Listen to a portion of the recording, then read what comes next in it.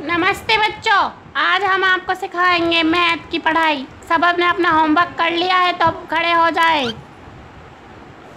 Ram Ram master जी, मैंने नहीं किया होमवर्क थप्पड़ मार दूँगा, ज़्यादा हमसे बकवास करने को।